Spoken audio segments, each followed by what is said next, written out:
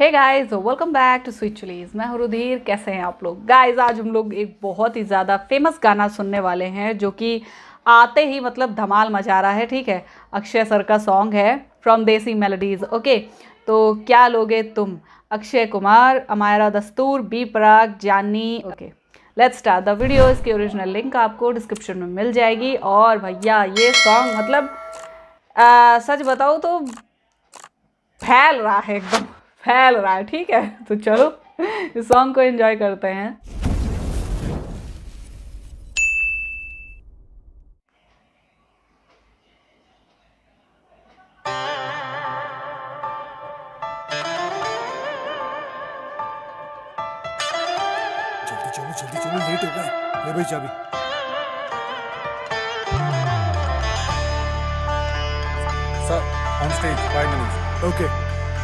Okay तुम हो। मैं जा रहा।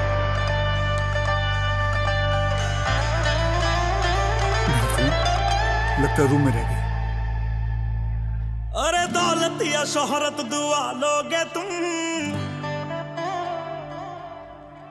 या कोई महल नया लोगे तुम। अरे दौलत या शोहरत दुआ लोगे तुम।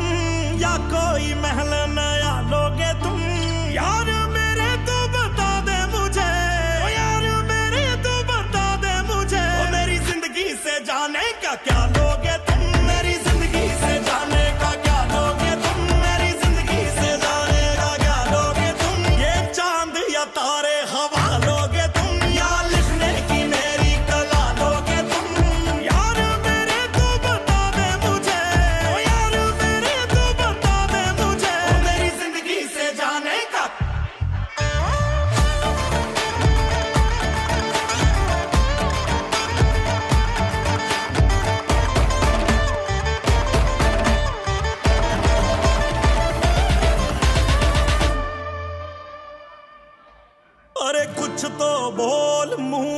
खोल प्यार भी ढूंढ के दे देंगे। अरे कुछ तो बोल, मुँह तो खोल, प्यार भी ढूंढ के दे देंगे।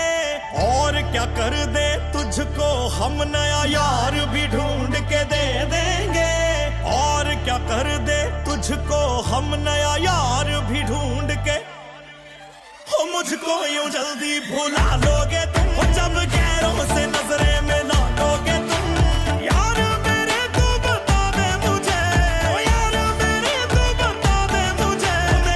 वाह। से जाने का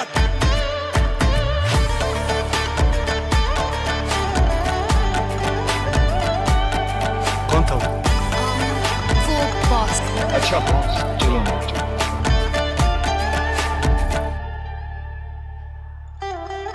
लवारिस है प्यार तेरा घर बार कोई नहीं। तू दुश्मन है अब मेरा।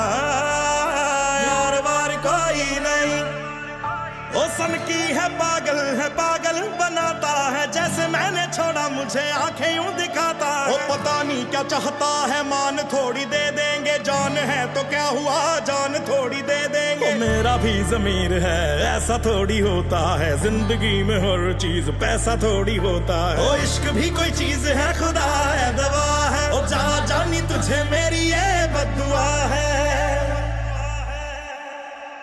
कि चाहोगे जिसको गवा लोगे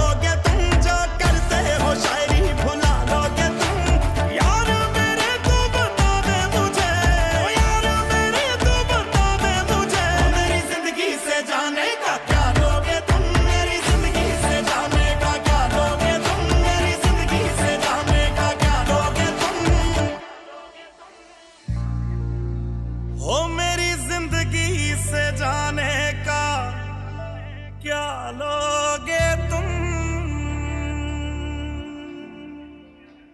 जाओ, आपकी फरारी खड़ी है। जाओ जाओ जाओ जाओ। वाह, बहुत सही बहुत सही। यार, एक तो बी पराग की आवाज़। जिस गाने में दर्द ना हो ना, उस गाने में भी दर्द पैदा कर दे भाई साहब। ओ माय गॉड पहली बात तो यार उनके जितने भी गाने हैं ठीक है चाहे अ, कुछ का उन्होंने रीमेक बनाया हो चाहे उनके खुद के कुछ ओरिजिनल हों ठीक कोई सा भी हो लेकिन वो हर गाने में ना यार जान डाल देते हैं सच्ची बता रही हूँ। मुझे पता नहीं कि उनकी आवाज़ बहुत ज़्यादा पसंद है बी पराग की आवाज़ काफ़ी ज़्यादा पसंद है उनका उनका सिंगिंग स्टाइल जो है वो अपनी पूरी जान लगाकर जो गाते हैं ना वो वाकई मतलब यार अच्छा लगता है ठीक है। कुछ कुछ ऐसे सिंगर हैं जिन्हें आप सराहते हो पसंद करते हो है ना? मतलब एक तरफ़ आपको क्लासिकल जो सिंगर्स हैं वो पसंद होते हैं और एक तरफ़ कुछ ऐसे सिंगर्स जिनकी वोकल काफ़ी स्ट्रॉन्ग होती है और वो आपको अ, मतलब इस टाइप के वो पसंद होते हैं। मेरी प्रेफरेंस दोनों ही है है ना? मुझे कुछ ऐसे लेजेंड सिंगर्स जो हैं वो भी पसंद हैं और जो न्यू आए हैं सिंगर्स ठीक है? उनमें भी कई सारे हैं वो भी पसंद हैं।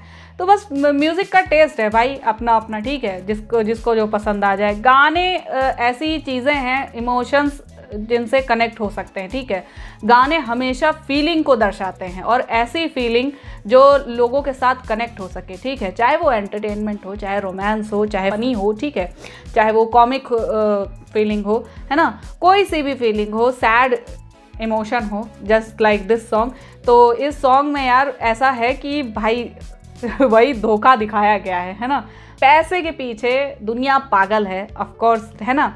और उस चीज़ का सबसे बड़ा जो सबूत बॉलीवुड ने ढूंढा है है ना? वो हमेशा से यही दिखाता है कि हाँ यार लड़कियों को ज़्यादातर यही चाहिए होता है कि जहाँ उन्हें पैसा दिखा, वो उधर बिन पेंदी के लोटे की तरह डोल गई। मतलब भैया, जो इंसान तुम्हें प्यार कर रहा है, ठीक है?